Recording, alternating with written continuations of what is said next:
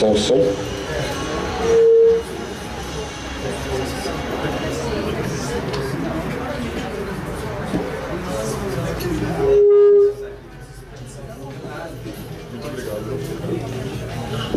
Boa noite, pessoal.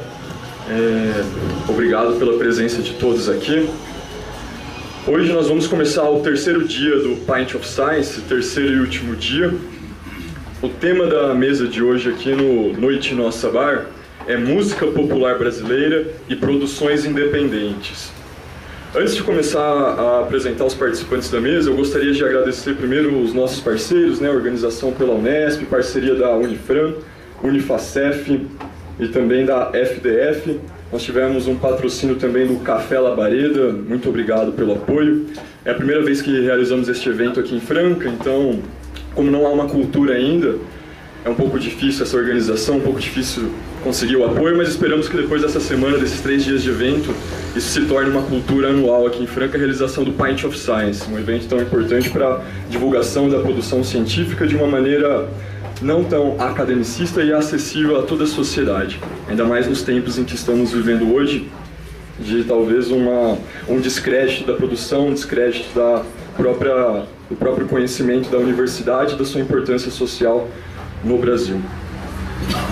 Os participantes da mesa de hoje são professor doutor José Adriano Fenerick, professor da Unesp, Departamento de História, professora doutora Camila de Araújo Beraldo Ludovice, professora da Unifran do Departamento de Linguística, professor mestre Renan Branco Ruiz, da Unesp, doutorando no programa de pós-graduação em História, e professor mestre Cláudio Nazaré, da Unifran, doutorando no Departamento de Linguística. Eu espero que essa mesa seja muito proveitosa para todos. A dinâmica vai ser conduzida pelos próprios integrantes da mesa, então após a, a conversa vai ser aberto para perguntas. Enfim, fiquem à vontade. Muito obrigado também pela presença de vocês.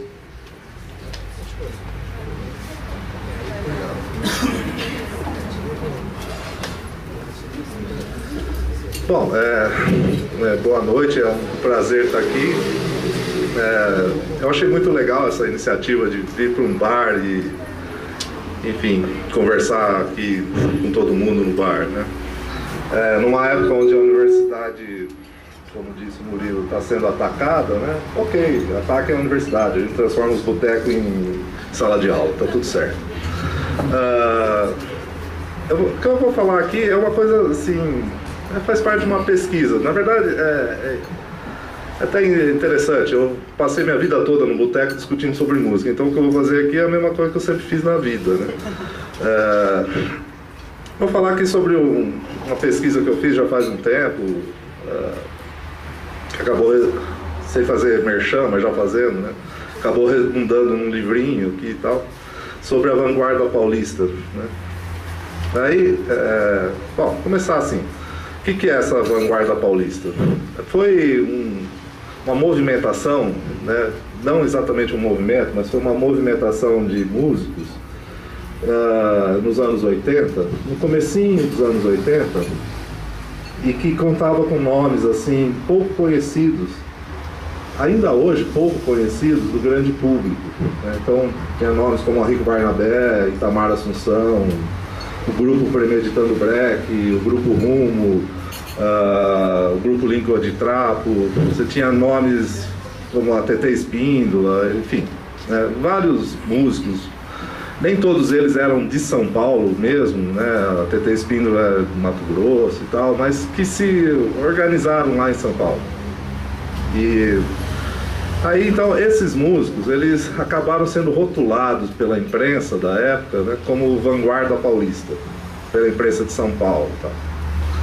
E esse rótulo, sem querer discutir o que é vanguarda, isso aí o Renan depois discute.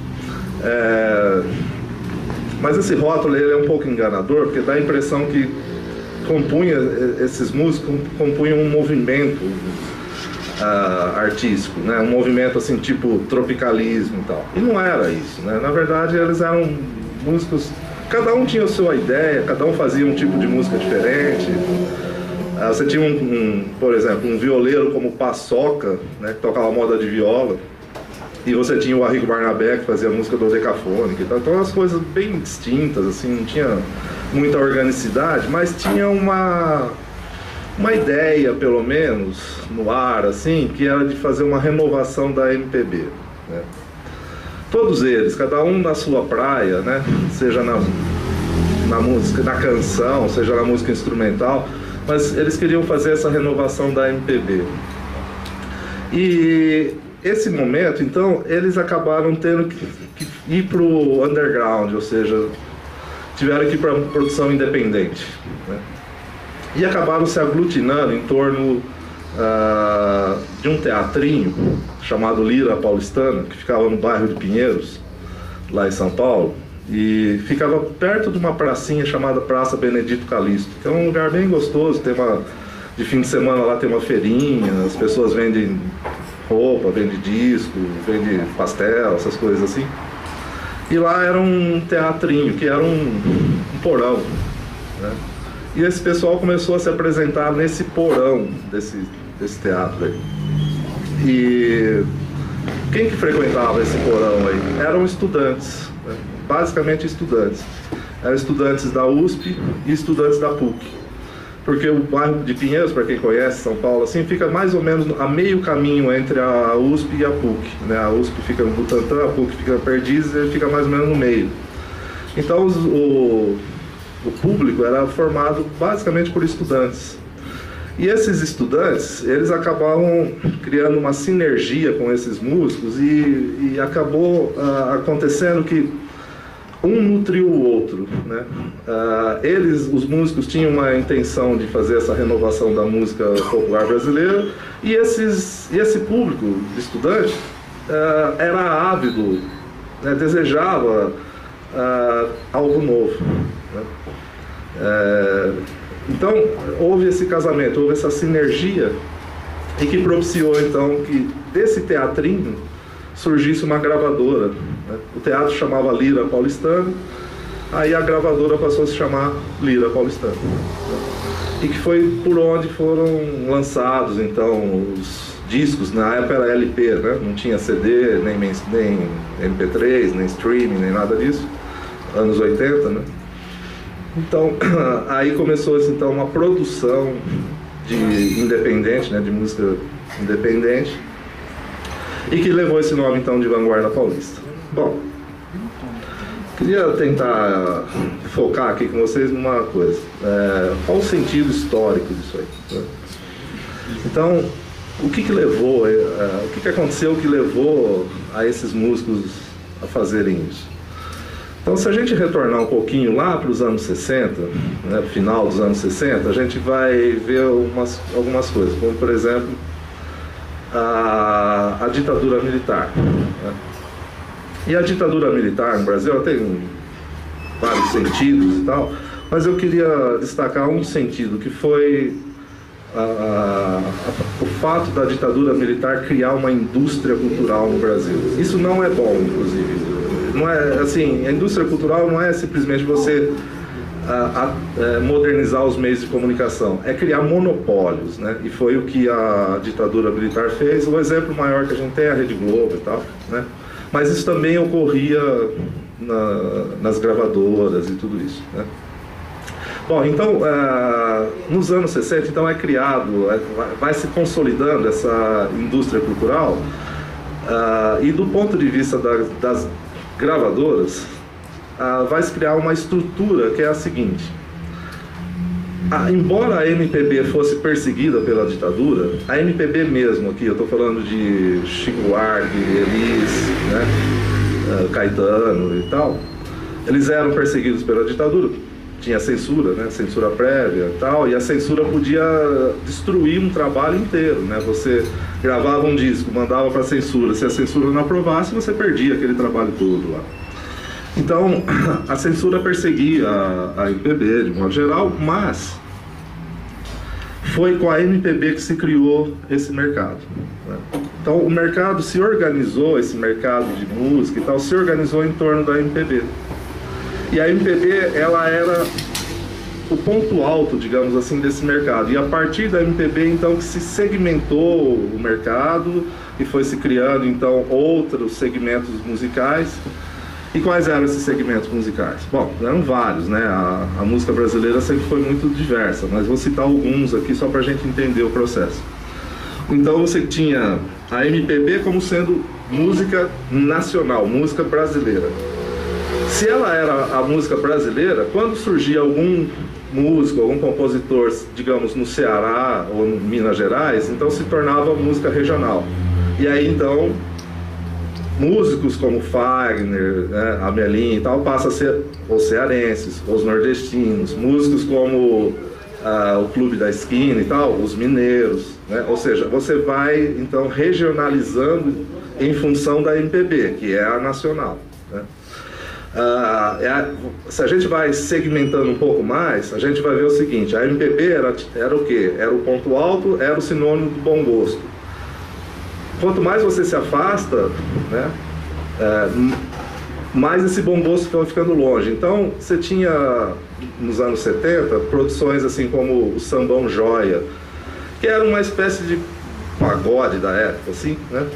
E que era uma música vista como algo de gosto duvidoso, né? Assim como a música prega, que também tinha, né?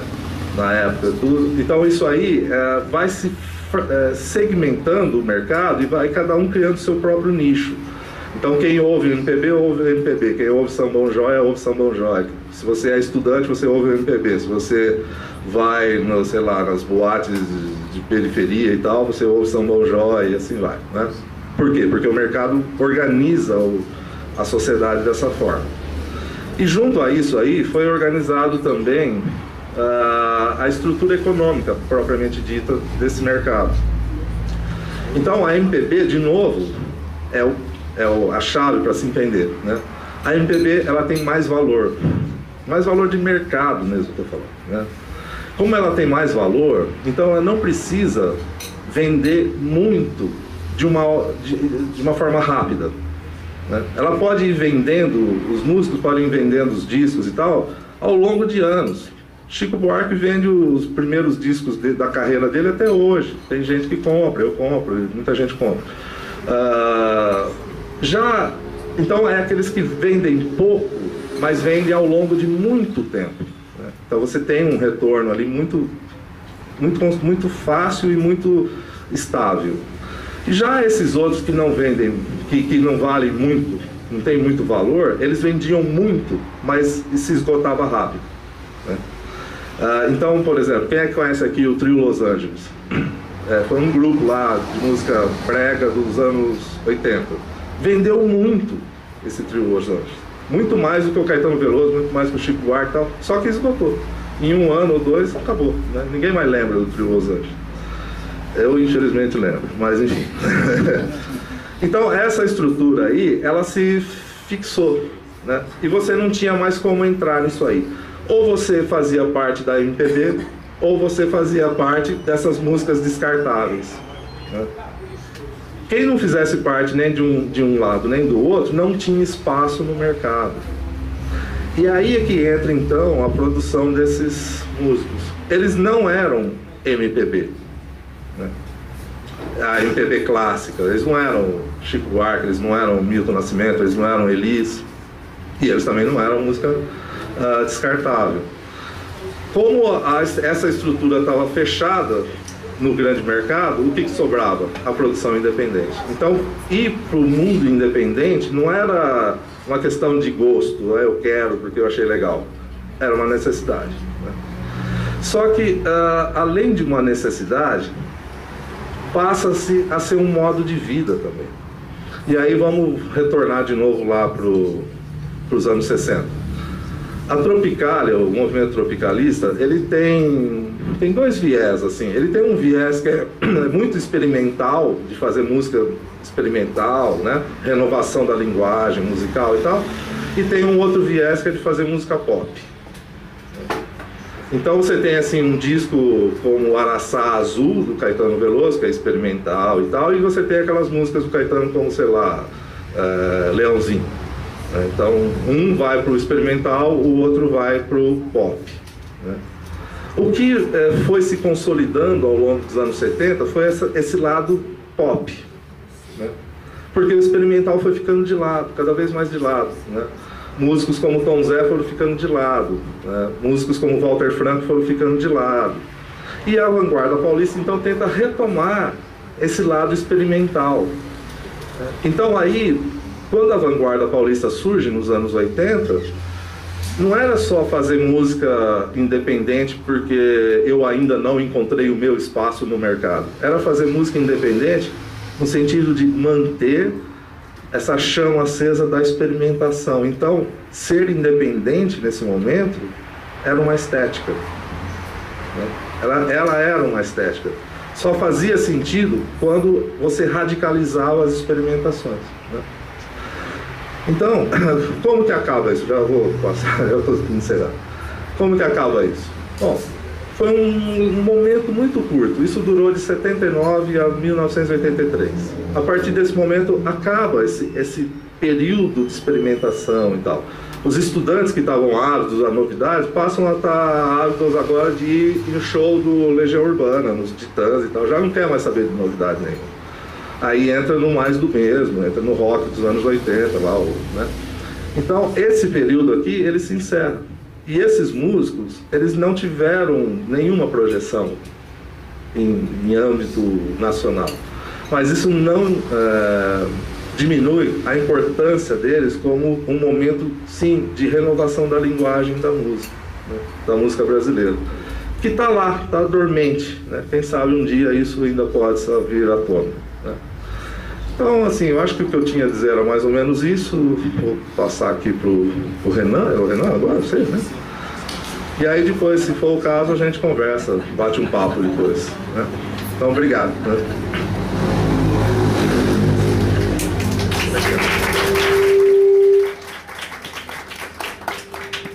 Boa noite.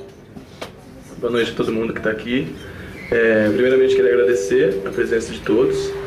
Agradecer o pessoal aqui da mesa, Camila, Cláudio, Adriano também, o pessoal que veio. É, Para hoje, pessoal, deixa eu baixar um pouquinho aqui.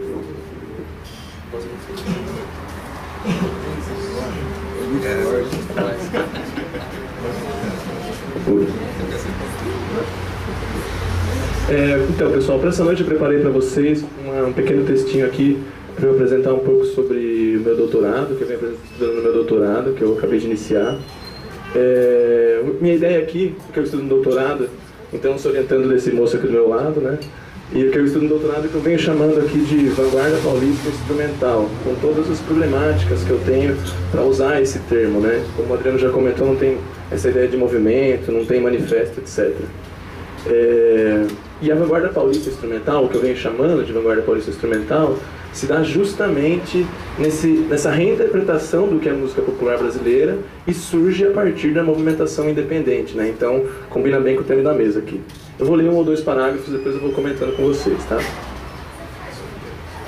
O que estou chamando de vanguarda paulista instrumental é um aglutinado justamente pela ideia de brasilidade da nossa música popular no momento de ascensão da movimentação independente de São Paulo, em sintonia com as experiências jazzísticas do estilo fusion que aumentaram sua circulação no Brasil desse mesmo período.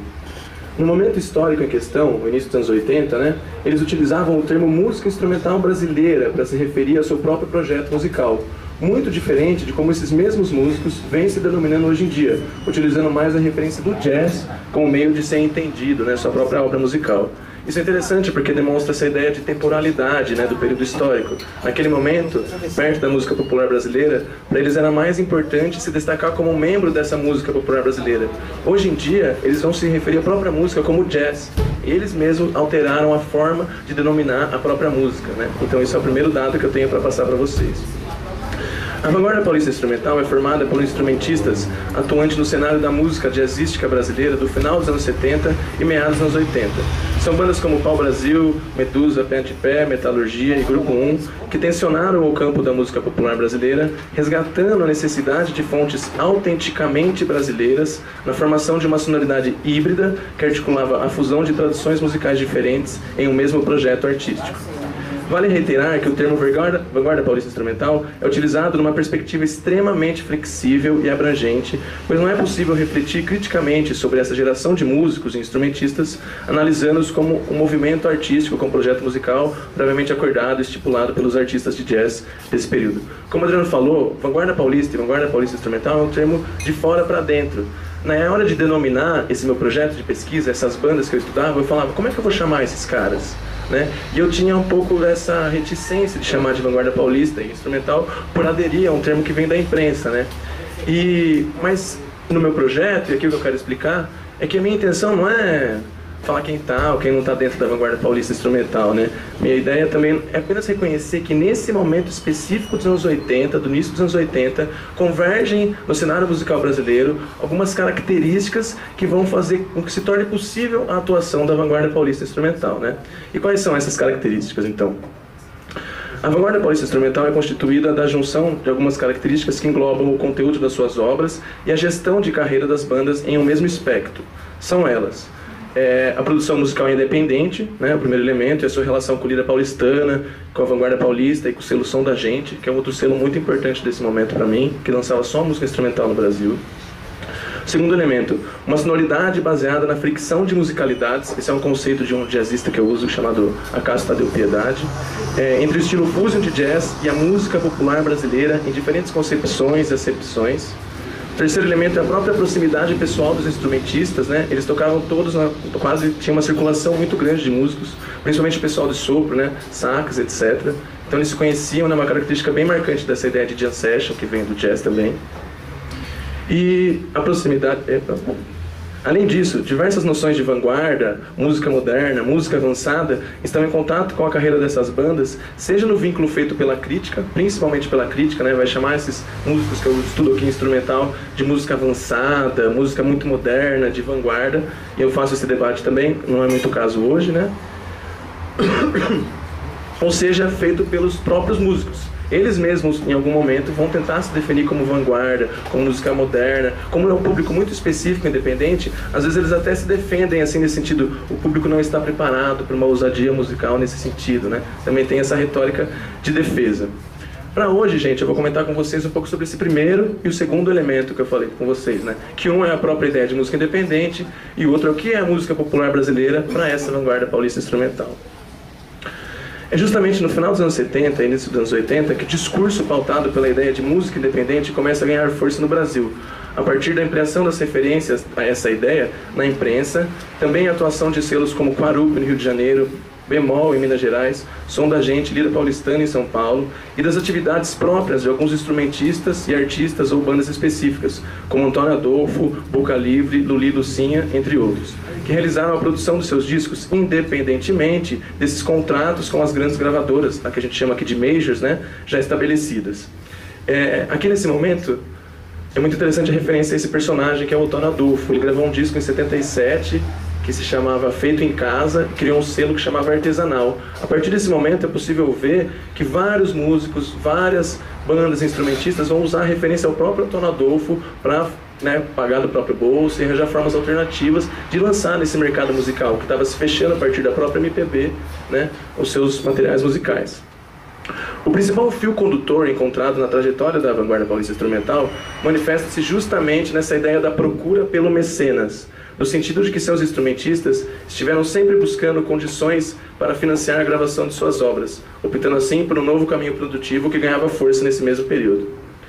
Em uma matéria publicada no caderno ilustrado do jornal Folha de São Paulo, no dia 12 de março de 82, Lelo Nazário, que é um pianista do Grupo 1, ele refere-se simbolicamente à figura do mecenas, utilizando essa ironia do distanciamento temporal dessa figura para comentar sobre a conjuntura da música instrumental do período. Foi nessa matéria que eu achei no jornal que eu achei a primeira fonte da minha dissertação de mestrado. Eu achei muito interessante quando eu achei no meio do caderno, assim, né, da Folha de São Paulo, pesquisando fundo sobre a vanguarda paulista e a vanguarda paulista instrumental, que eu achei lá uma coisa muito interessante, bem grande, assim, estava escrito: procura-se mecenas. E daí embaixo está escrito logo assim: músicos de reconhecido nível artístico e vasto currículo profissional procuram mecenas para financiar o seu projeto. Tratar com Lelo Nazário e um número e Rodolfo Stroeter e um número embaixo. Então achei isso sensacional e fui procurar saber o que, que era isso de verdade, né? Entrei contato tanto com o jornal quanto com o Lelo Nazário, né? E a ideia que eu tinha imaginado no começo era a ideia do próprio autor aqui, né? Foi o Lelo Nazário que colocou isso no jornal. Eles pagaram para colocar. A ideia é se atentar ao problema do financiamento da música instrumental brasileira nesse período. Então, essa, esse fio condutor, essa procura pelo mecenas, a gente vê exatamente sempre a trajetória de todos esses grupos que eu citei, além do grupo 1, o Pé de Pé, o Divino Encrenca, e etc. É, dois dias depois vai ter uma longa matéria explicando o que é essa, essa procura pelo mecenas, de uma página inteira, também Ilustrada, e ele chama essa matéria de Nova Música Instrumental Paulista. Ele vai atentar justamente às dificuldades de se produzir um álbum, de fazer música instrumental avançada nesse momento, né? Vale ressaltar aqui as intensas problemáticas inerentes à própria ideia de música independente. Essa noção, né, gente, não é um conceito, é extremamente escorregadio e duvidoso, haja vista as distintas possibilidades existentes para a inserção de alguns artistas diferentes é, na indústria fonográfica brasileira. A expressão também é um tanto quanto problemática, pois pode acabar simplificando as variadas configurações de mediação, essa palavrinha mediação é bem central no meu trabalho, né? vou trabalhar tanto com a versão do Adorno quanto do Williams para ver essa mediação da obra de arte, é, as quais uma obra de, de arte está sujeita em determinado período. No entanto, é justamente nesses delizes e definições que, o, que essa ideia se torna rica para defender e refletir as diversas formas de produção musical no intuito de pensar as diferentes formas de estratégia e tática, ferramentas e possibilidades de inserção da música no mercado fonográfico brasileiro. Ou seja, essa ideia de independente não resolve problema nenhum, né? ela só traz um monte de perguntas para a gente depois tentar responder nos nossos trabalhos. É, nesse sentido, vou pular essa parte aqui, tem um trabalho de um autor que chama Igor Castro, é, ele fez um mestrado em comunicação e ele lançou um livro que chama O Lado B, a produção independente brasileira. Lá ele vai categorizar e analisar tudo que falaram de independente desde o ano de 1909.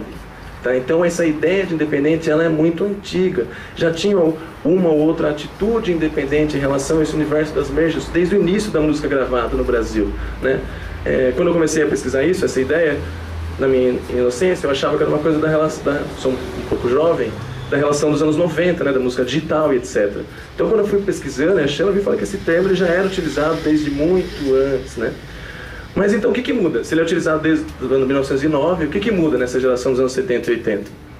No período que vai do final dos anos 70 e início dos anos 80, há um momento bastante particular de ampliação da retórica independente no universo musical, devido ao grande avanço produtivo no setor fonográfico, sendo, entanto, uma ampliação concomitante do leque de artistas e estéticas distintas presentes no mercado musical. Assim, essa ideia ganhou força e uma quantidade maior de artistas passaram a se utilizar tanto do discurso de independência musical quanto das práticas de gestão, conforme é, lembra um autor que eu também estudo que chama Gilno Novas, ele vai falar que essa geração ela passa de uma atitude incomum é algo raro, a atitude comum que várias pessoas começam a fazer. Então a ideia aqui, o que, que muda nesse momento? A ideia de produção musical independente foi vista como algo exequível. Antes da década de 70, isso era visto ah, como meia dúzia de louco e como visto como algo ruim. Se não está na indústria da música, é porque é algo ruim. Nessa geração de instrumentista, esse valor se inverte. Porque se ele não está na indústria da música, tem a ver com a experimentação musical, que eu estava falando. Então essa relação se inverte, é por isso que esse termo está localizado nesse momento da indústria fonográfica brasileira. Tá?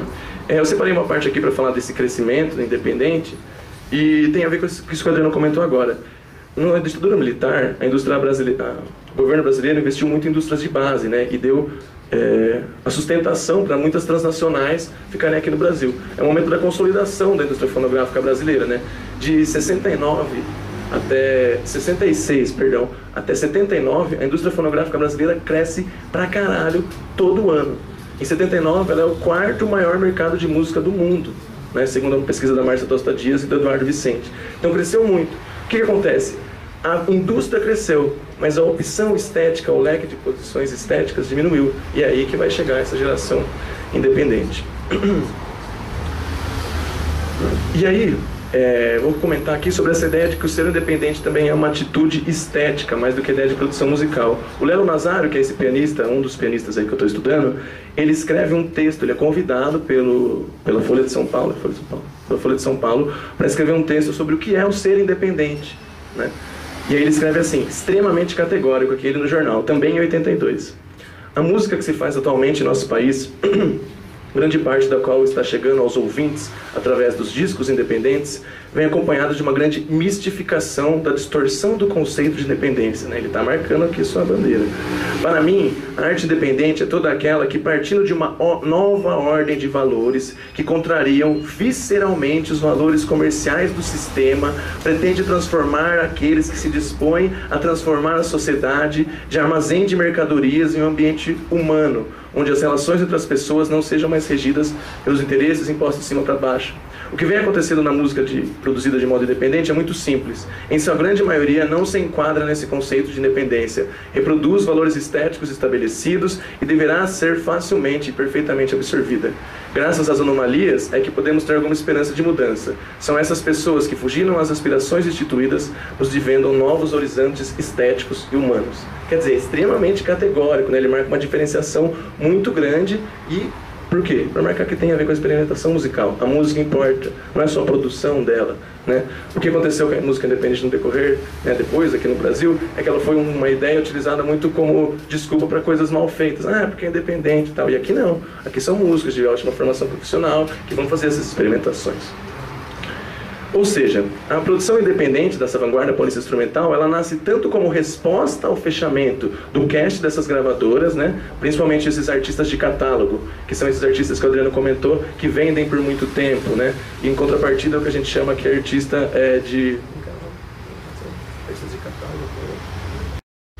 esqueci o nome agora, tendo um conceito da Marcia Tostadia, que é artista de catálogo. É esse que vende por muito tempo, que é um artista renomado no mercado musical, e é um outro tipo de artista que é esse que vende rapidamente, né? Então a produção independente nasce como resposta ao fechamento desse cast, né? principalmente a partir do MPB, e ao mesmo tempo tenta reinterpretar o que é a música popular brasileira em várias acepções e definições. Tá? Vou partir para o segundo elemento aqui já no final. Tá? Nessa movimentação musical, os campos da reconhecida música popular, né, tradição oral, e da música erudita, que eu estou chamando aqui de tradição escrita, perdi. Nessa movimentação musical, os campos da reconhecida música popular e erudita se confundem e se desfazem nos procedimentos estético-musicais da vanguarda paulista instrumental. Isso pois além da fusão de elementos da música popular em vários âmbitos e possibilidades tanto semânticas quanto sonoras, seus integrantes buscavam um lugar no cenário da MPB mais abrangente e considerado sem grandes novidades pelos músicos da vanguarda paulista, também instrumental, desde a Tropicália. Inclusive, já na década de 70, existe um movimento musical instrumental vinculado ao jazz que busca o seu lugar ao sol no mercado da MPB, utilizando o termo música popular instrumental brasileira nessa empreitada, sendo representado nessa geração dos anos 50 e 60, principalmente pelos conjuntos de samba jazz e de pianos trio, como Tampa Trio, Zimpo Trio, Edson Machado e vários outros. Ao mesmo tempo, as obras da vanguarda paulista carregam intensas dissonâncias e experimentações consideradas eruditas né, e de vanguarda pela crítica, além de utilizar técnicas sonoras da modernismo musical, né, música tonal, né, essa ideia de serialismo também tem, então é um campo bem interessante. Eu trouxe uma caixinha de som aqui, se no final, o que é a vanguarda paulista, esse cara fica falando um monte de coisa, né? A gente pode ouvir no final também, se vocês quiserem, pode ajudar, né? Nesse campo de intensas misturas musicais, a vanguarda paulista reinterpretou é, variadas noções de música popular como base para suas experimentações estéticas. No caso do grupo Pau Brasil, por exemplo, essa aproximação se dá pela releitura de diversos clássicos do samba e do gênero MPB, né? Aqui tem essa questão, né? tem o gênero MPB, que segundo o Marcos Napolitano vai ser essa que vai se constituir da segunda geração da bossa nova, meio que é uma um bolo, assim, da segunda geração da bossa nova, canção de protesto, tropicália, né? Isso se institucionaliza na década de 70, e aí vem a segunda geração da MPB, que são os mineiros, né? Depois o Fagner, Belchior, etc. E tem a ideia do música popular, como tudo que seja, né? Popular ou música, né? Baseado nesse leque né? de, de grandes produções diferentes, etc. Já no caso do grupo 1, a ideia de popular brasileiro se dá via elementos indígenas e folclóricos, elementos rurais e não urbanos. Então a própria vanguarda paulista, ela reinterpreta a noção de popular de maneiras distintas.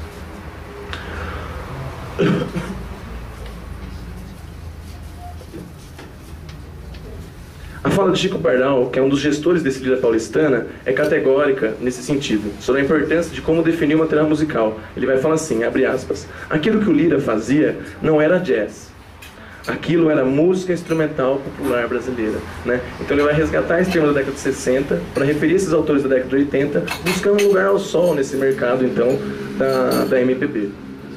Outro caso importante que eu vou citar para vocês é um encarte que tem no disco do grupo Medusa, outros dos grupos que eu estudo. Ele é, ele é categórico. Existe um conflito básico quem nasce em um país colonizado culturalmente. A gente não ouve mais, a memória se apaga. O grupo Medusa é resultado desse conflito. É, no nosso trabalho musical, pretendemos é, uma fusão musical das raízes da música popular brasileira em fusão com os elementos do jazz. Isso aqui mostra exatamente o que, que era a proposta dessa galera. E aí entrou no segundo termo aqui, né, que é essa ideia do jazz. Jazz e música popular brasileira sempre tiveram uma relação extremamente conturbada e contraditória no decorrer do século XX. Bem a grosso modo, para generalizar, né, o historiador gosta de fazer pelas, pelas eras, é, na década de 20, a inserção do jazz no Brasil já tinha essa ideia de jazz band. A partir de 22, 23, é muito comum encontrar lá no Rio de Janeiro cartazes de carnaval falando sobre a presença de jazz bands, né? O repertório desse momento se dá principalmente a partir de poucas, machistes, né, lundus, né, um pouquinho de samba e incorporação de alguns foxtrots, né, que é a música lá dos Estados Unidos. Nesse momento, o jazz foi visto como um elemento ruim, maldoso, que ia atrapalhar o desenvolvimento da música brasileira. O Mário de Andrade, né, aí, autor épico do modernismo, vai dizer naquele livro Ensaio sobre a Música Brasileira de 28, em tons assim de denúncia e preocupação, ele fala, é, como é que é, tem aqui? Ele fala assim, as mudanças do jazz estão se infiltrando no machixe. Que é uma questão, né? A música popular de outra nação não pode ser a música popular né, influenciar no desenvolvimento da nossa música popular. Ou seja, a partir de uma visão particular e ampla da música popular brasileira, fusionando jazz de estilo fusion, que a vanguarda paulista criou um universo musical bastante próprio e, diga-se de passagem, pouco explorado pelas pesquisas acadêmicas em geral. A partir da retórica e das práticas de produção musical independente, viabilizou o processo produtivo de suas obras musicais sem o patrocínio das grandes empresas da música e registraram uma sonoridade bastante específica no desenvolvimento da música instrumental brasileira, interpretando e redefinindo a noção de popular na tradução de composições instrumentais produzidas no Brasil. Hoje que eu tenho hoje é para isso, gente. Valeu.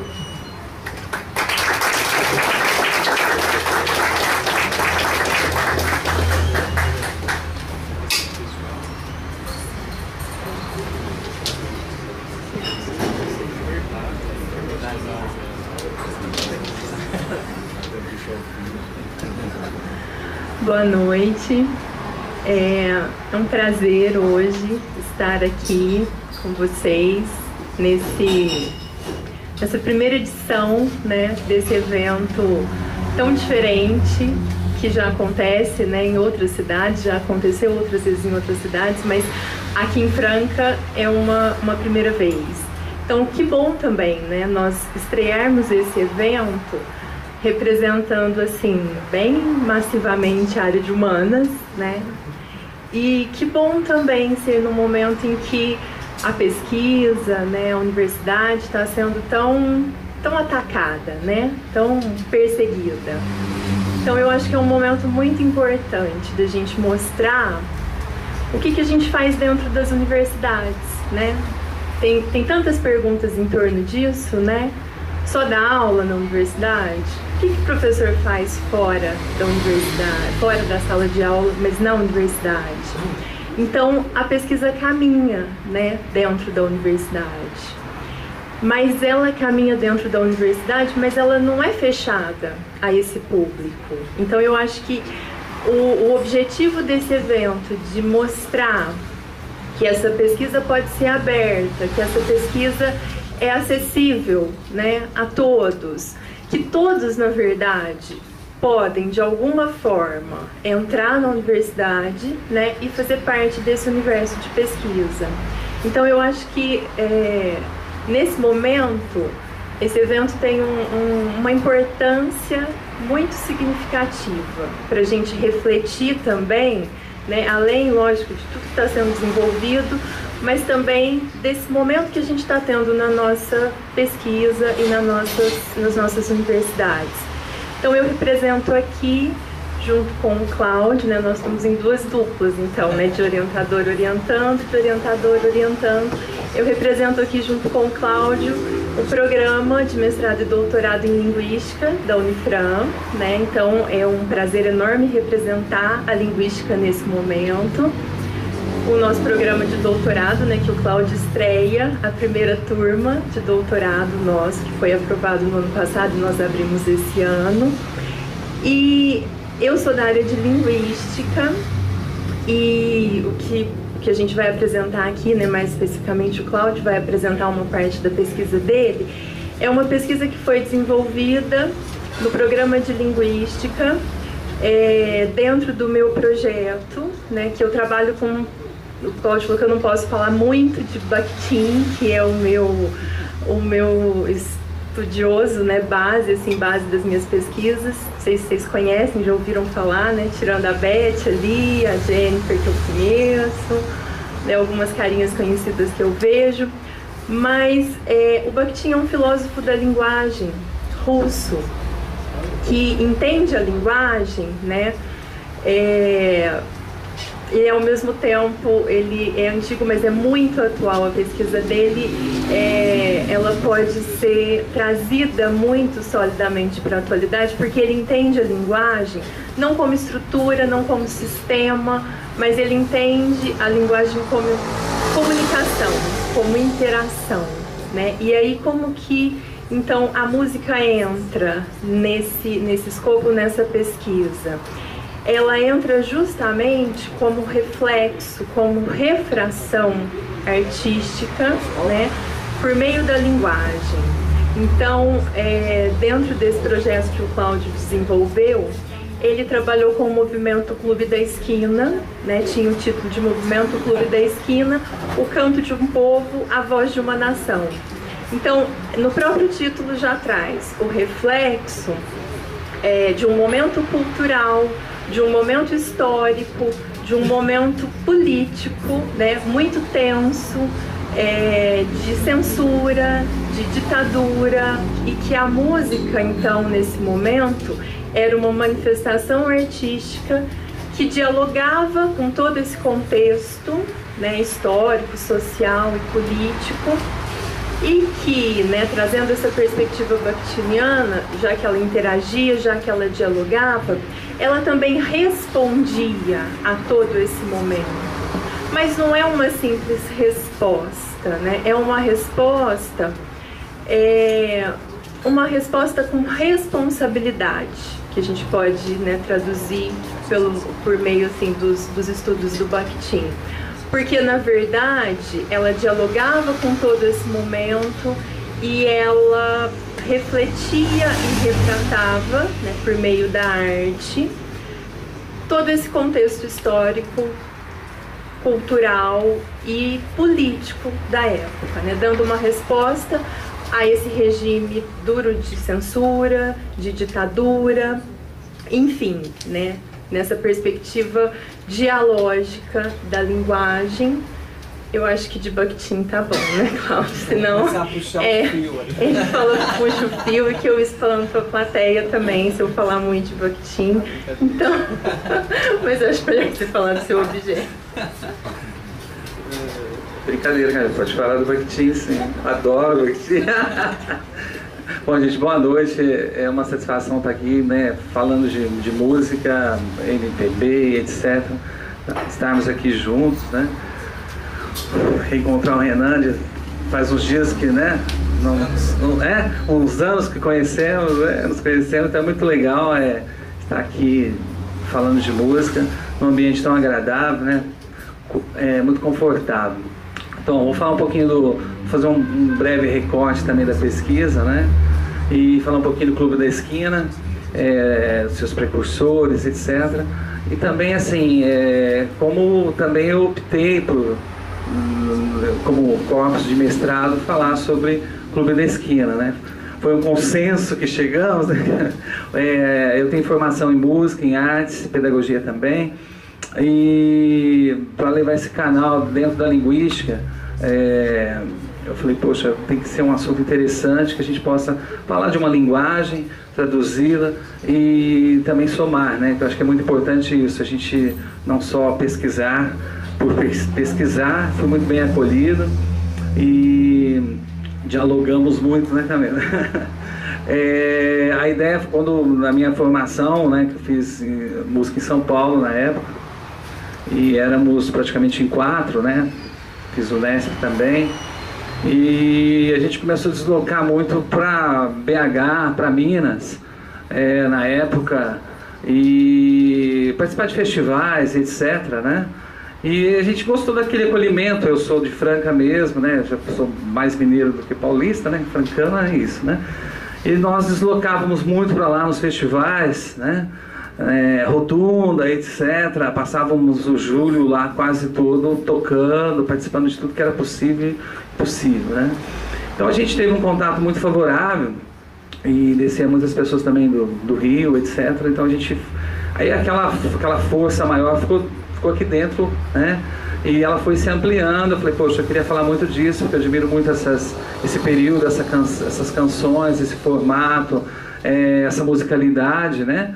que às vezes não foi tão bem assim é, difundida também na, naquele momento, ou às vezes mesmo até hoje, falar quem conhece, quem não conhece, né?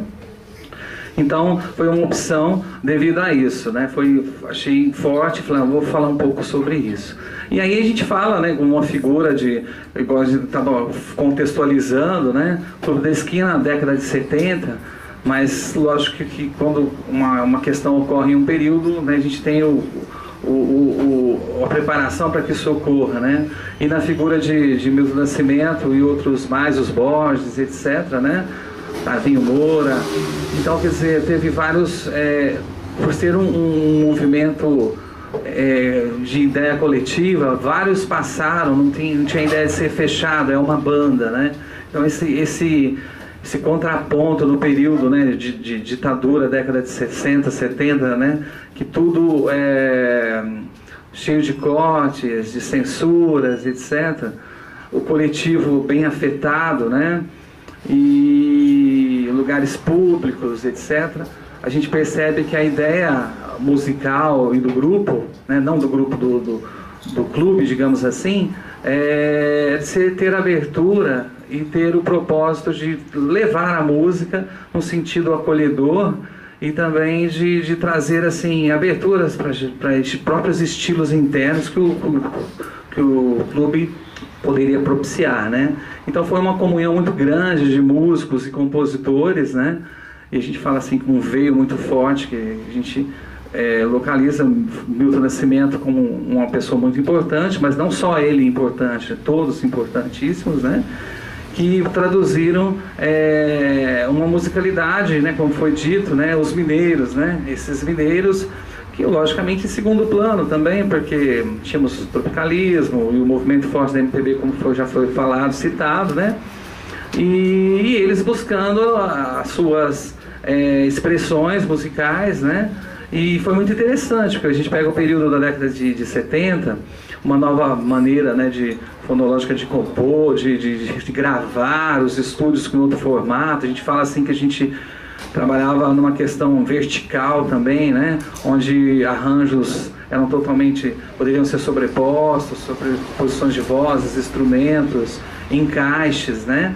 E aí a gente vê uma, uma, uma riqueza muito grande porque houve uma união de, de elementos tanto de origens, né, de, influências, como o próprio jazz, né, os Beatles, etc., que eles tiveram, mas como também a, a musicalidade das miscigenações que nós temos no Brasil, né?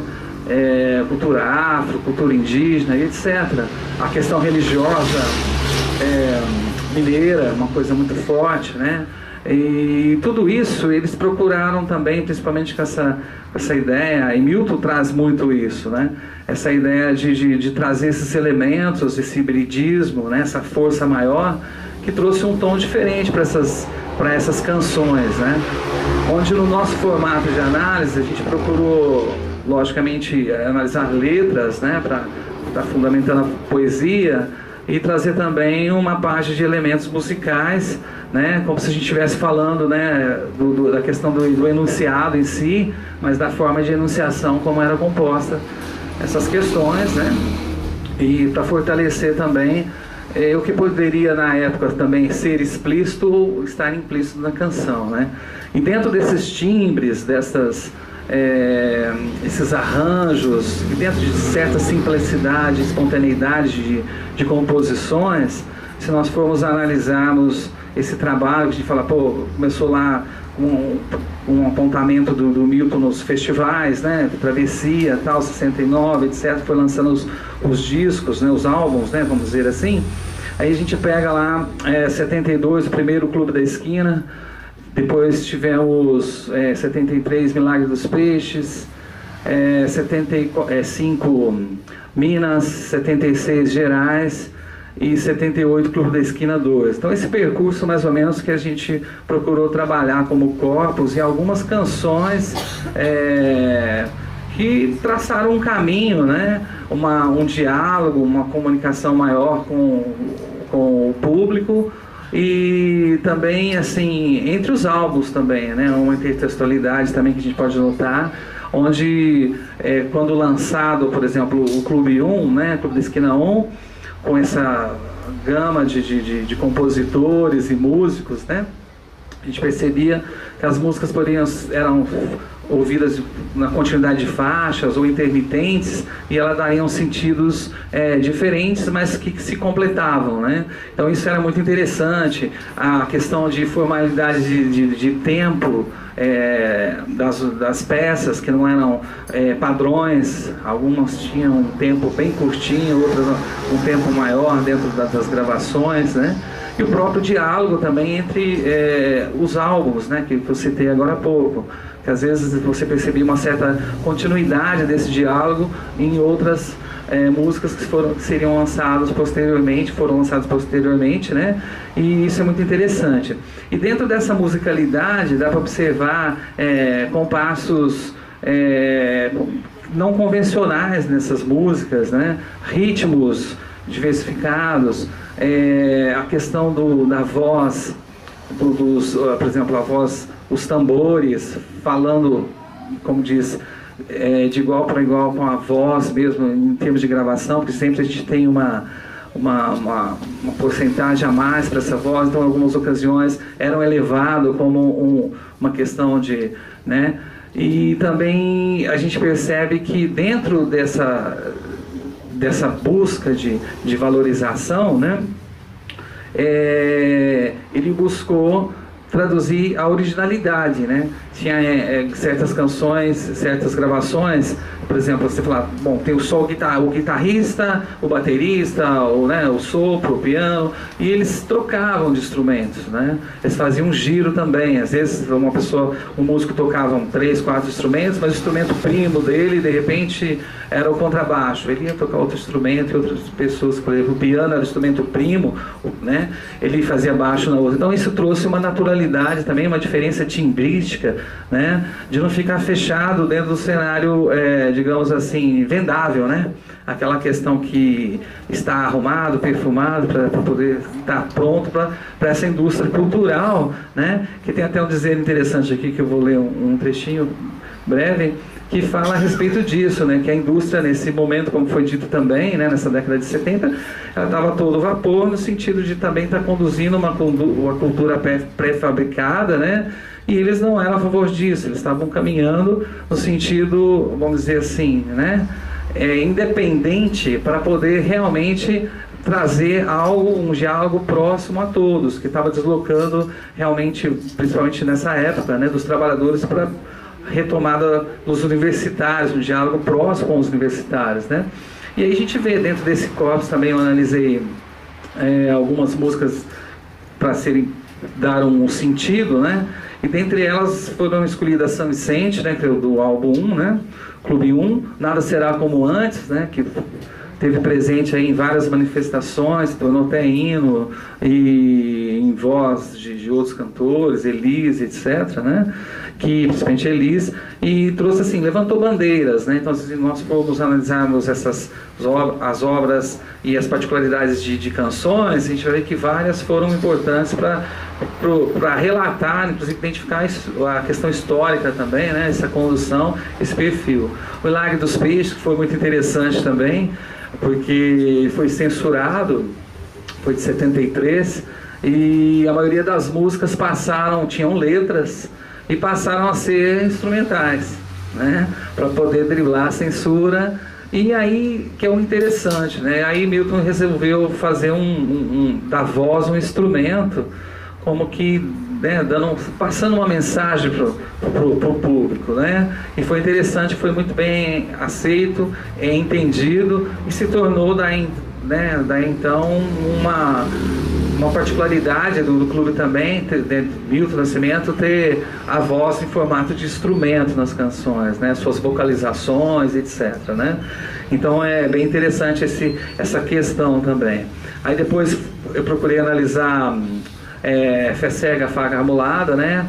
Que foi meio que uma resposta ao Nada Será, uma condução e e foi uma sequência é, tanto cronológica, mas também de não só por datas, mas de realmente de, de ter o pico do, do momento e a gente perceber que as letras também comunicavam com essa realidade é, né, que estava rolando lá e de repente a gente percebia que o diálogo era, era, era bem assim pertinente, né? O formato de, de, de expressão, é, a mesma composição a harmônica, melódica da, das letras é muito interessante de se analisar, né? Lógico que a gente precisaria de tempo para falar sobre isso. Estou falando assim mais brevemente, né? E na sequência foi analisado o que será, né? Chico Buarque no do álbum é, Gerais, que a, a letra bem pocalinte, né? Aquela questão de falar sobre amor, ódio e colocar a questão política e dar tanto, tantos assim é, anseios para um diálogo, diálogo fervoroso, né? E nós fechamos esse, esse corpus com credo que a gente vê no, no, no Clube 2, né, em 78, uma outra linhagem de falar bem mais leve da questão musical, da questão sonora e de letras também, né? Então procuramos analisar essa questão poética, letra, mas também a questão é, sonora, né? Dentro dessas possibilidades de arranjos e tudo mais que foi, foram realizados. Né? A fala que temos aqui do, do a respeito do, dos mineiros, né, da, da, da questão da, da, da, produção, né? apesar de eles estarem aliados, é, o Milton Cimental Odeon, né? É, tinha uma fala assim né, do, do Borges. É, para produzir discos destoantes da padronização da indústria cultural, Milton tinha autonomia concedida pelo diretor da gravadora Odeon, Milton Miranda. Nós temos nossos comerciais. Vocês, mineiros, são nossa faixa de prestígio. A gravadora não interfere. Vocês gravam o que quiserem, né? Então essa é uma fala interessante que dá uma certa liberdade e percebe um, um contraponto diante de toda essa veiculação e direcionamento da indústria cultural, né? Que eles procuravam assim estar é, dentro das suas autenticidades de, de tanto poética como também estruturais musicais, né? Onde a gente percebe dentro dos próprios arranjos e da do grande material, né, sonoro que podemos observar em suas gravações. Né? E isso também foi possível devido ao formato né, de estúdio fonológico que foi é, avançado, avançado na década de 70, né? E eu acho que é isso, né? Então, quer dizer, foi um percurso interessante de fazer, nós tínhamos várias possibilidades para traçar um caminho para poder dialogar com esse período e com essas canções, né? Desse, desse formato, né? Chamado Os Mineiros, apesar de, de Milton, né? Ser carioca, Rio e foi para BH e ficou por lá, né? e se juntou aos mineiros. E também a gente percebe que no trajeto nós temos músicos do, do Brasil inteiro que fizeram participações importantíssimas dentro dessa trajetória. Né? E assim a gente percebe que há uma infinidade de, de possibilidades de poder analisar esse diálogo, né? essas questões, essas relações dialógicas né? que, que temos, é, observar esses enunciados, enunciações, é, que são muito ricos e traduzem também é, em vários pontos de vista, vamos dizer assim. Né? Acho que é isso que eu tenho para dizer.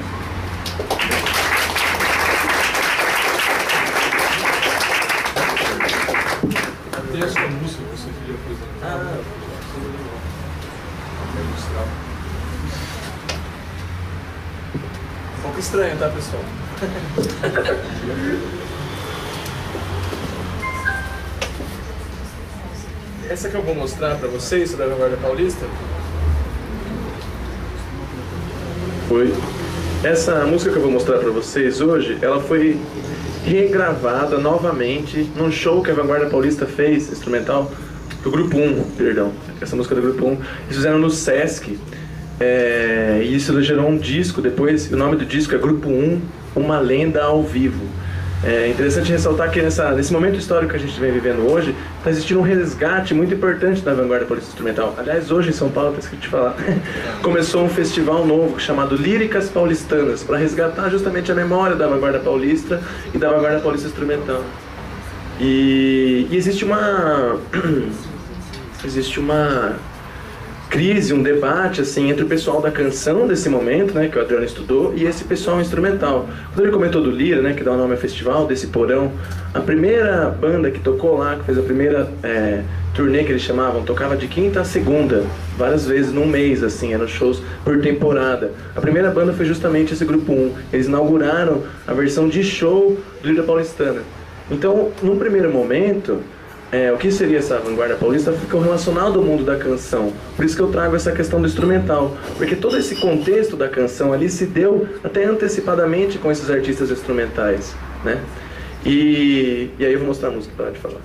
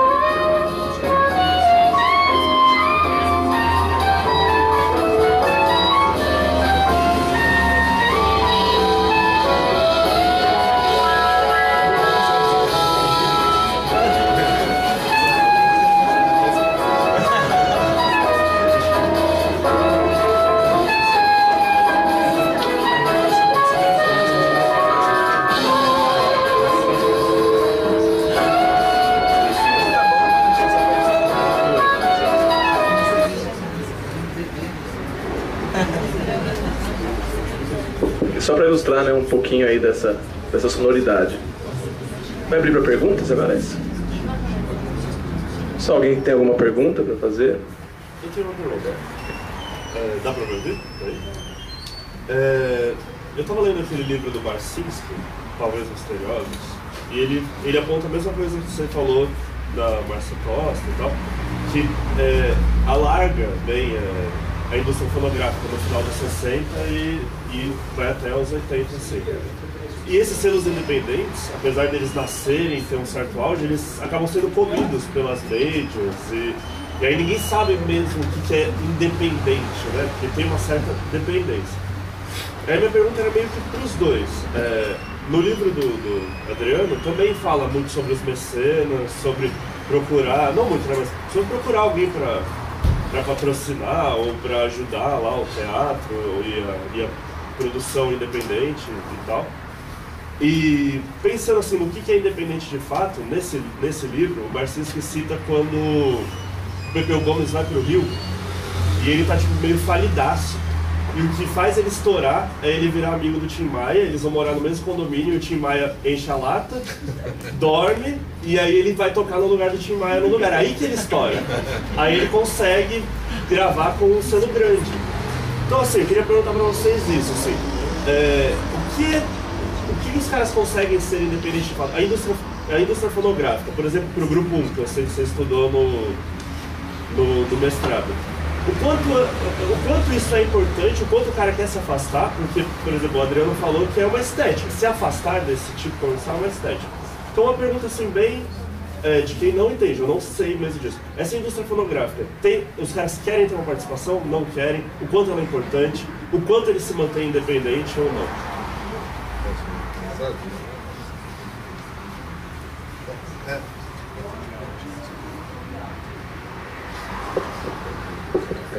Tá preso. É, deu, deu. Bom, Carlos, assim, eu vou tentar responder aqui minha parte, depois eu passo pro Renan, né? É.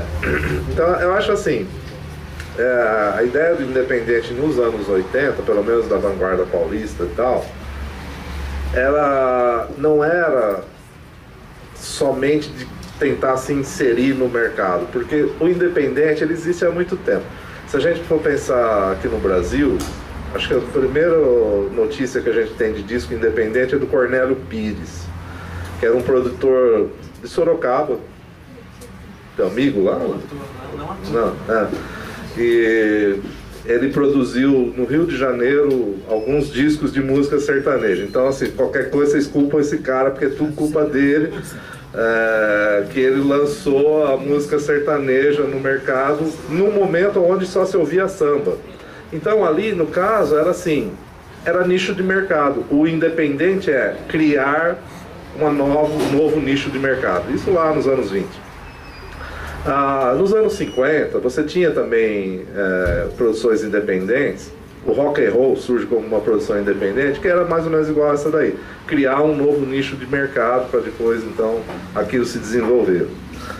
Nos anos 80, então, no caso da vanguarda paulista, não era bem isso aí. O, o ser uh, eles até queriam, eles até queriam se inserir no mercado, mas só que com alguma uma única condição: não mudar a música deles. Uh, o que se tornou impossível.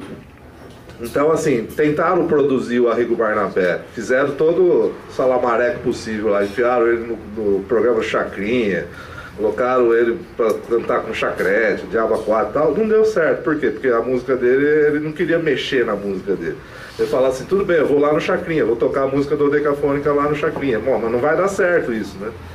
Então ele continuou marginal, continuou à margem da coisa e continuou produzindo música independente. Uh, o Premeditando Break, que era outro grupo, eles tentaram fazer do Premê uma espécie de blitz. Na verdade, a blitz nem existia. Eles queriam que o Premê lançasse o rock no Brasil, que depois foi lançado pela Blitz. Mas qual que era a condição para que isso acontecesse? Eles se mexessem na estrutura da música deles. Ou seja, tinha que fazer uma música pasteurizada que tocasse na Globo, que fosse possível as pessoas ouvirem e cantar no, no rádio, etc, etc. E simplesmente falaram não. quando eles chegaram, esse grupo Premier, quando eles chegaram numa grande gravadora, que foi a Odeon, eles fizeram um contrato lá para lançar três discos, só acabaram lançando um. E esse um chamou Grande Coisa, o nome do disco. Tem uma música que chama Grande Coisa leva o mesmo nome do, do, do disco. Nessa música, o que, que eles falam lá? Ah, o Premier chegou na Odeon. Aí todo mundo fala, grande coisa. É, tem o sentido duplo, no sentido de que nós fizemos uma grande façanha e no sentido, e daí, que bela porcaria que é isso? Então, quer dizer, não continuaram fazendo nenhum outro disco lá na grande gravadora. Então, então assim, todos esses músicos dessa, dessa geração, eles meio se auto-sabotaram, mas não no sentido uh, de que eles eram imbecis ou qualquer coisa assim. É porque eles, ok, eu quero fazer sucesso, eu quero ser uh, vendável tal como um Roberto Carlos, mas sem mexer minha música. E sem mexer a e sem mexer na música, não vai dar.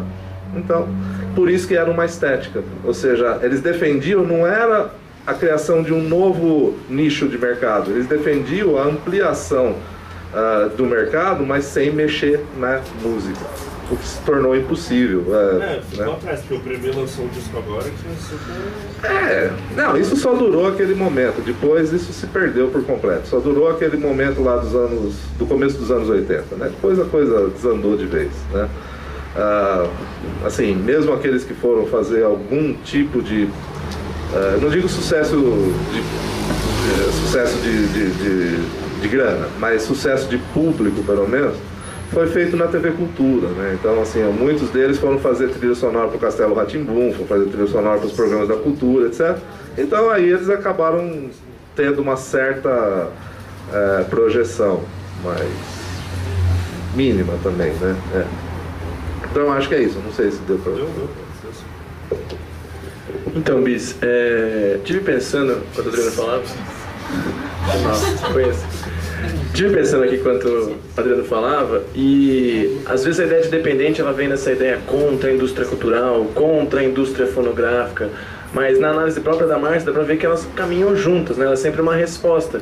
E às vezes essa ideia de dependente é utilizada até como pesquisa de mercado, né? O que deu certo, as grandes gravadoras incluem. Foi o que aconteceu com a Vanguarda Paulista, né? A Vanguarda, é, o primeiro disco lançado também pela, quando teve uma parceria do Lira Paulistana com a... Qual é a com a Continental, é, foi do próprio Grupo 1. Então essa ideia não é contra né, a indústria fonográfica, ela caminha junto de acordo com as possibilidades de mercado. No caso da Vanguarda Paulista Instrumental, o que é o independente para eles também está muito relacionado à possibilidade de sobrevivência daquela música. O Grupo 1 saiu, a gente estava comentando aqui agora, dos músicos que acompanhavam o Hermeto Pascoal, e como tinha uma ascensão desse jazz, Fusion nesse momento, eles achavam que eles iam conseguir viver do próprio grupo 1, o que não aconteceu. Então, além dessa questão estética, deles terem convites para gravar com gravadoras grandes que não deu certo, né, depois de gravando pelo Dião, é, o foco é a possibilidade de sobrevivência mesmo. Uma coisa que não rolou. Eles sempre tiveram que atuar em outras ações, fazendo trilha sonora, fazendo ir para teatro. É, o Léo Nazário compõe para a Sinfônica do Estado de São Paulo já a partir desse momento. Então a independência para ele também é essa possibilidade de sobreviver da própria música, né? Além dessa questão estética, saca? E uma coisa que me ocorreu aqui, biscoito, agora também te ouvi, biscoito. É que ele apelou, ele falou bis, né? Então é, é, é o seguinte, é, esse pessoal eles tomavam muito como parâmetro o Frank Zappa. É que aí era assim, o Frank Zappa é um músico independente, né? Só que ele é um músico independente que está numa escala mundial. Então ele produz um disco, esse disco vende de uma forma independente, mas ele vende no, no planeta todo. Ah, o, esse grupo de músicos que a gente está falando, da Vanguarda Paulista, não tinham às vezes essa noção da escala. Então eles, falavam, eles pensavam assim, a gente, a gente consegue viver, uh, ou vamos conseguir sobreviver com a nossa produção independente só no Brasil, o que é irreal. O Frank Zappa não conseguiria viver uh, se fosse só no mercado norte-americano, né, que é infinitamente maior do que o mercado brasileiro, mas ele não conseguiria. Então, uh, ele, uh, eu acho que o que faltou ali foi o seguinte: ter a noção de escala. Nós podemos viver de uma maneira, fazer a nossa música de uma maneira independente, autônoma, sem mexer na, naquilo que a gente acha que tem que ser feito, mas desde que isso seja projetado para o mundo todo. E aí não teve esse, esse passo adiante, né? Então, cada vez mais eles ficavam restritos, não era nem ao Brasil, era São Paulo. Né? Pinheiro, às vezes Pinheiro, né? Então ficava muito restrito. O universo de, estudo, de, de, público estudantil em São Paulo é grande, ok tal, tem várias universidades lá, tem, né, tem uma universidade do tamanho da USP, que tem muito aluno, tudo, mas isso não é o suficiente para manter o trabalho desses músicos, né? Não foi o suficiente, pelo menos. Né? Então acho que tem também esse problema da escala. Né? Quando você trabalha numa escala mundial é uma coisa, quando você trabalha numa escala que não é nem nacional, né? Mas é do tamanho de uma cidade como São Paulo, já, já fica bem complicado, né? Sei lá. Só para finalizar, o que eu percebo no caso instrumental é que existia um momento muito específico e curto para essa galera achar que eles poderiam viver dessa música louca. Essa é a ideia, né? Porque o mercado vai se fechando depois. Todos esses grupos que eu estudo, eles acabam em 84, eles lançam três, dois, três álbuns de 81, 84 e todos acabam. Na verdade tem uma exceção que confirma a regra, que é o Pau Brasil, que meio que existe até hoje, que virou meio uma instituição assim da música instrumental, né? Mas todos eles estão localizados nesse momento. Por quê? Porque tem a ascensão desse jazz fusion em escala mundial, né? A referência do Miles Davis, do Beaches Brew. Então, como eu falei, eles vão falar que é música instrumental popular brasileira nesse momento, mas hoje eles falam que é jazz né? Porque estava relacionado a essa trajetória do jazz mundial para conseguir esse lugar no mercado. E eles vão abandonar isso logo em seguida, porque o mercado se fecha em 85, na segunda metade dos anos 80, isso tudo é totalmente se fecha, não existe mais esse mercado independente, ele vai retomar com as gravações digitais. Então é um momento muito específico para eles acharem que é possível viver disso. Isso é né, relacionado a essa escala mundial do jazz também. Não sei se dá para falar, professor? O microfone não é certinho.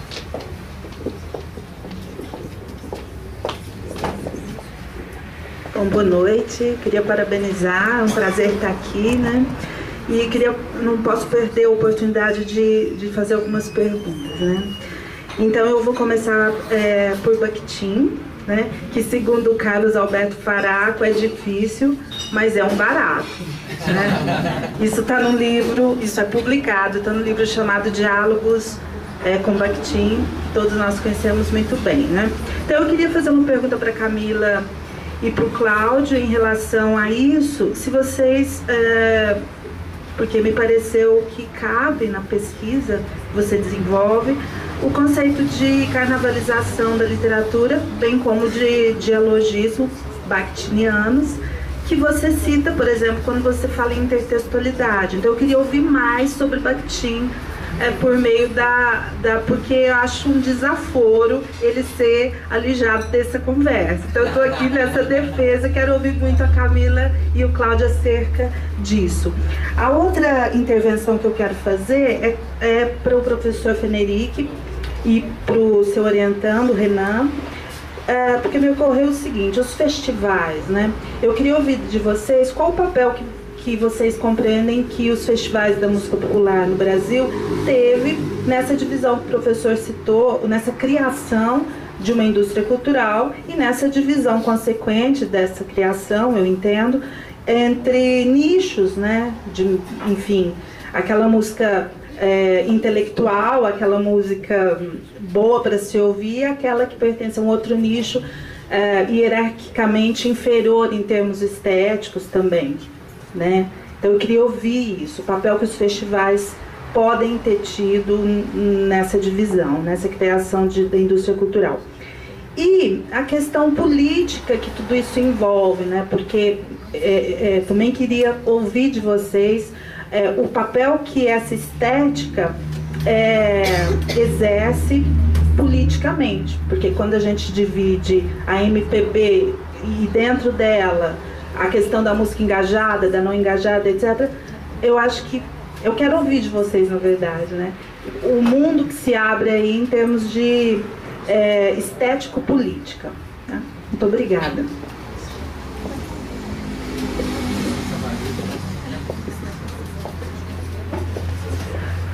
Obrigada, Beth. Que bom, né? Ter uma bactiniana aqui para compartilhar. É, a Beth tem uma importância muito grande na minha formação, né? De, de letras, linguística, literatura, né? Talvez ela, ela nem saiba o quanto ela contribuiu para minha formação. Então, muito bom reencontrá-la aqui. É, cabe muito, né? O conceito de as reflexões, na verdade, de carnavalização do Bakhtin. Só que não, não fez parte. A carnavalização não, não entrou nesse primeiro processo né, do mestrado, porque nós delineamos a pesquisa bem para a questão assim, das relações dialógicas é, e do gênero letra de música, né, propiciando essas relações dialógicas. E, e como o Cláudio tem a formação em música, na verdade, essas relações dialógicas ultrapassaram o plano da linguagem verbal, né? E ele chegou um pouquinho na linguagem é, da música mesmo, né? A canção. Mas o objetivo ele foi é, bem, bem direcionado para a questão assim é, da, da, da refração, né? Do reflexo de um contexto assim muito turbulento, histórico e político, né, de, de ditadura, de censura, e que nas letras da MUD, das músicas que, que foram selecionadas no corpus né, que ele apresentou, fica, fica muito evidente, né? Então, assim, é lógico que tem a questão que fica implícita, né? É subliminar, porque não podia também ser escancarado. É, mas por meio das análises foi possível perceber, né? Questões linguísticas até, de que é, essa resposta da arte, né, por meio da música, criticando, é, indo contra a política vigente da época, era bastante explícita. E aí é interessante que o corpus, que, que a forma como ele selecionou o corpus, é bem um círculo, né, Cláudio? Tem um, um, começo, né, um início do percurso, da trajetória política e, e, o, e o final também, que aí eu acho que ele consegue falar melhor do que eu. Nós entramos num consenso, para falar a verdade. né? Porque se deixasse, eu ia fazer fazendo só análises musicais, logicamente. Né? Muito mais, seria muito mais pertinente a minha pessoa. então, dentro desse consenso, é, sempre eu falava, então, Camila, isso está representando isso, aquilo, né? Que a linguagem musical, para quem tem a interação dela, é muito claro, né? Um rufo de caixa, uma batida de caixa, um 3 para 1 e né, a questão de timbres, elementos de, de sonoridades específicas de certos instrumentos que caracterizam né, é, é, fortemente a expressão de um, de um povo, etc. Né? Igual a gente comentou um pouco da, da América Latina no início do Corpus, então tinha timbre de violão, timbre, né? O, os tambores eram timbrados, né? É, um timbre latino, então quer dizer, tudo isso já é uma linguagem muito forte musicalmente falando, né? Que vem complementar totalmente o texto, né? A questão letra, né? Então a gente dialogava muito a isso, só que assim, lógico que eu tive que me segurar, né? Não pude me atrever muito nessa questão, né, Camila?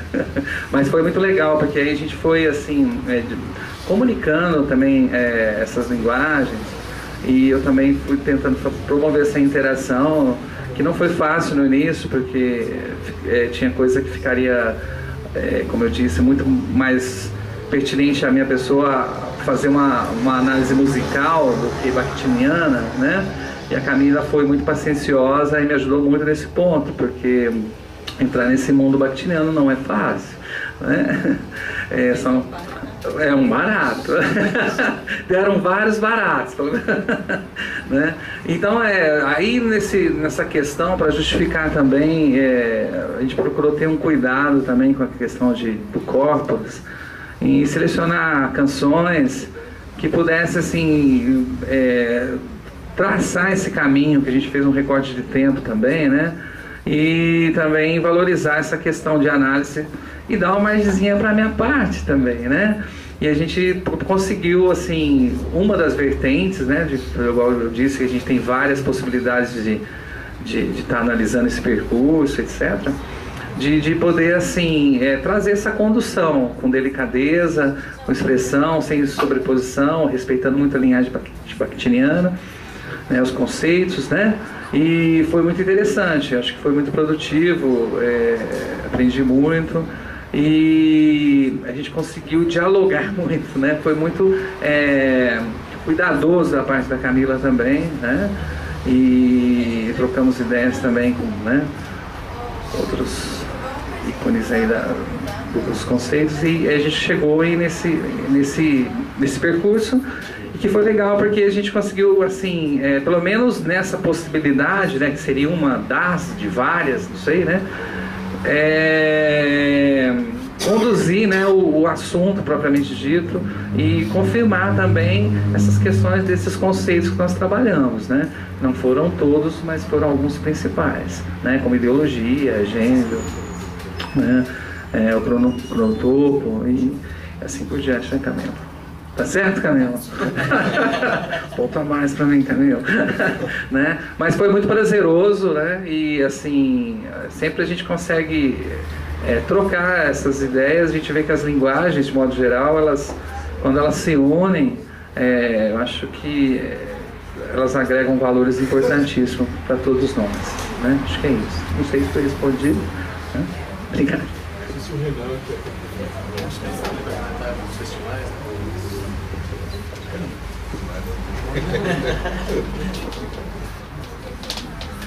É, é, Odete, é, bom, é, o que eu poderia dizer assim, os festivais dos anos 60, existem festivais de outra natureza em outros tempos que são outras questões, mas os festivais dos anos 60, eles tinham um duplo aspecto. Uh, até 1968, ou seja, até o AI-5, eles tinham um aspecto de arena política e um aspecto de campo de teste da indústria fonográfica. Como arena, política, é, a gente percebe isso de uma forma muito clara com as vaias e os apupos e as, os aplausos também, né? Então a, a plateia era dividida politicamente.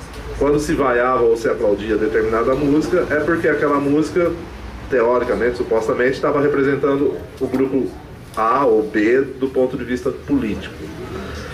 Uh, nem sempre isso era refletido de uma maneira muito assim preto no branco, por exemplo, vaiar o Sabiá do Chico Buarque e do Tom Jobim, que, que supostamente não teria nenhum tipo de engajamento político, mas é evidente que coisa era mais complexa do que aquela plateia na época achava, né? Então tinha isso.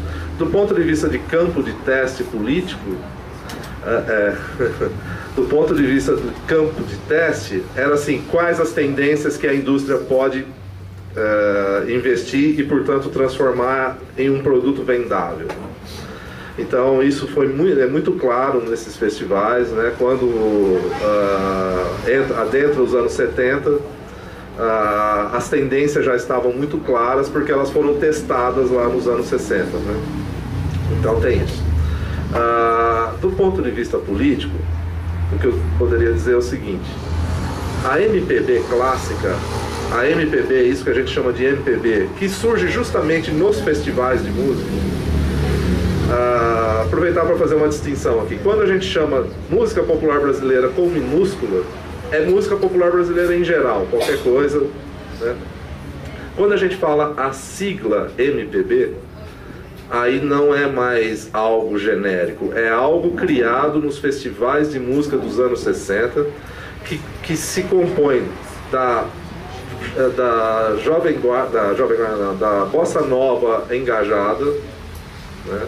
se compõe de, foi se compor é, da música de protesto e depois do tropicalismo. Quando esse amálgama se forma, então é a MPB. Até quando isso dura? Isso dura dos anos 60 até o começo dos anos 80. Depois a MPB como projeto estético acaba.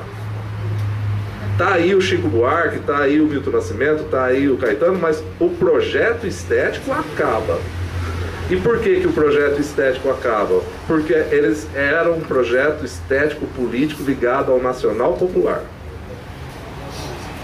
As reformas dos anos 50, as reformas de base, aquela coisa toda, ao desenvolvimentismo e ao projeto nacional popular. Que isso naufraga nos anos 80 com o advento do neoliberalismo. Então, a MPB como projeto político acabou faz tempo. Né? Não existe nada como nova MPB, porque não existe novo projeto nacional popular. Né? Bom, a vanguarda paulista, ela é ao mesmo tempo uma resposta à crise do projeto nacional popular e uma tentativa de a, a, mostrar um outro caminho. Esse outro caminho a, seria o que nos anos 60 lá na Europa foi chamado de nova esquerda. E que aqui no Brasil nós não tivemos nada parecido com isso nos anos 60, fomos ter nos anos 80. Né? Que é o que? uma esquerda não stalinista, né? portanto afastada do Partido Comunista e ligada ao, ao PT, ao Partido dos Trabalhadores, que é anti-stalinista e que traz novos elementos, como não só a luta de classe como sendo o centro do problema uh, do mundo contemporâneo, mas traz a questão do gênero, questão feminina, que, uh, traz a questão do meio ambiente, traz a questão dos marginais, que não seria o Lumpen, né?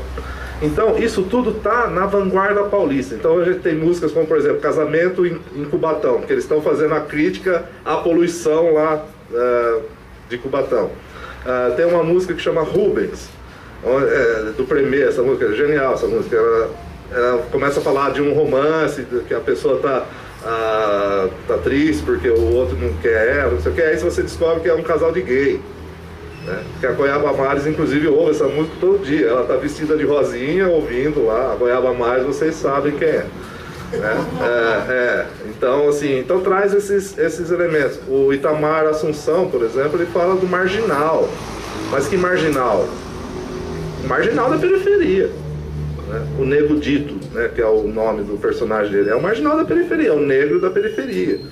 Então, são essas novas esses novos atores sociais, esses novos personagens sociais que vêm à tona com a vanguarda paulista.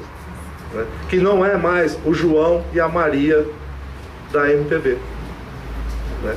Que era o símbolo do trabalhador e da trabalhadora. Né? Então aí é uma mudança. Só que, evidentemente, essa perspectiva ela está em crise agora. Essa perspectiva está em crise agora, né, com o governo Bolsonaro. Porque ele, ele quer retroceder não a, a, antes dos anos 80, ele quer retroceder a antes de 1917, né? Então aí a coisa fica um pouco mais complicada. Mas enfim. Né?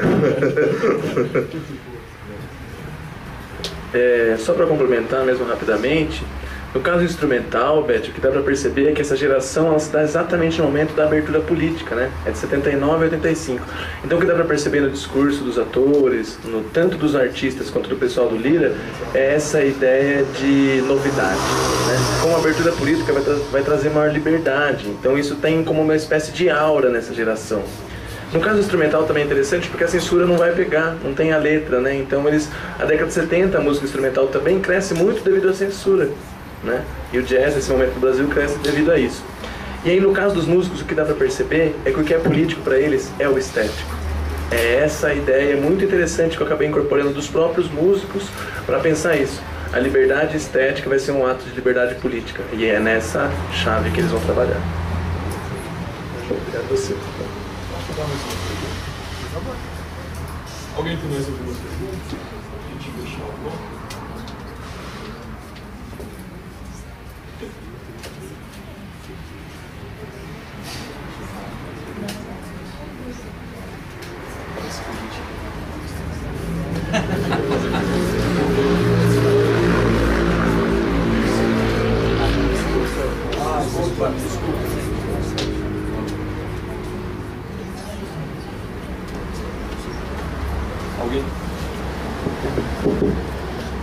Mais alguma pergunta antes de encerrarmos aqui a mesa?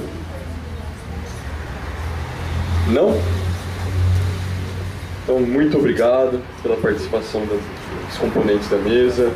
Espero que tenha sido um momento proveitoso, um pouco descontraído também, né? Fora da, rigidez que a gente está acostumado na, nas universidades, na academia, em anfiteatro.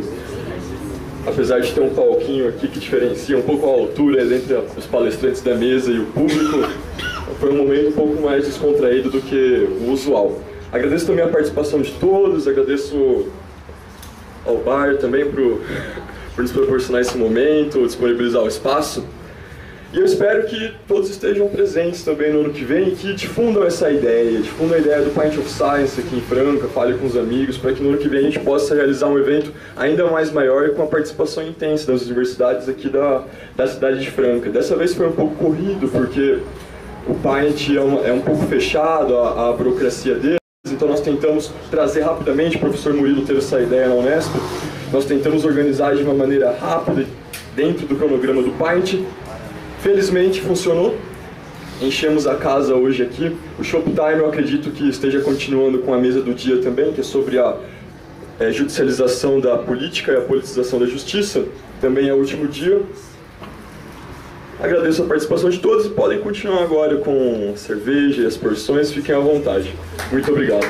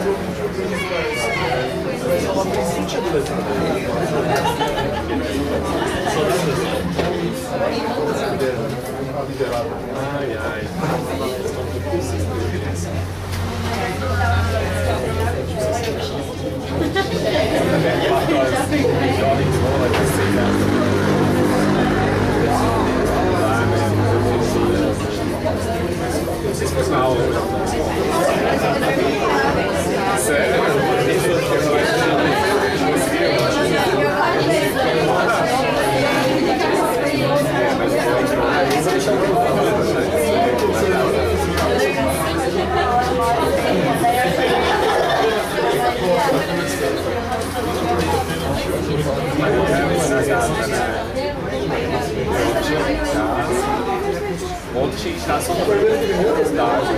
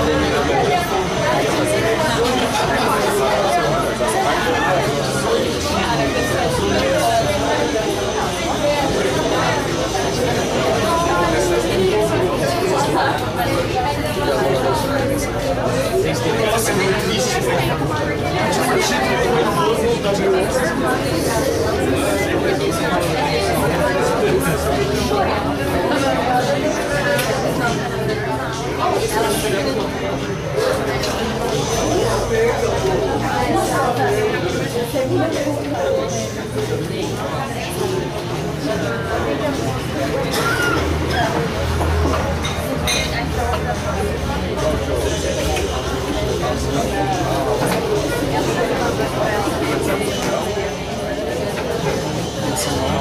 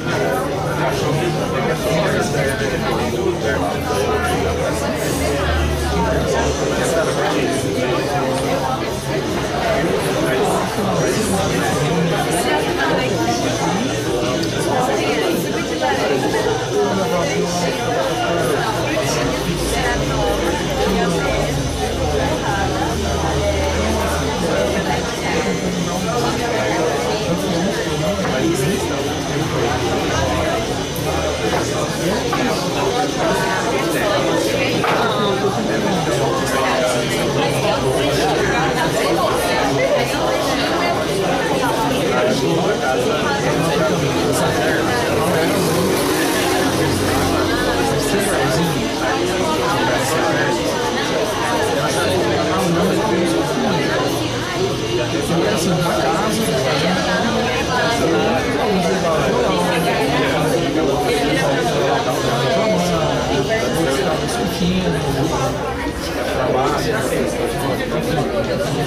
Só um lado, né?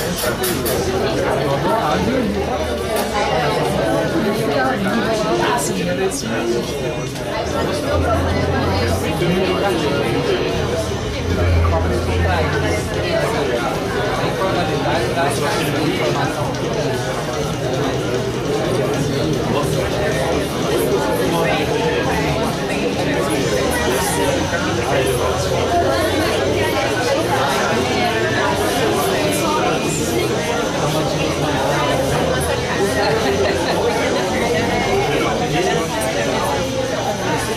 Não, eu dormi, eu acordei, tipo, acordei com sei lá,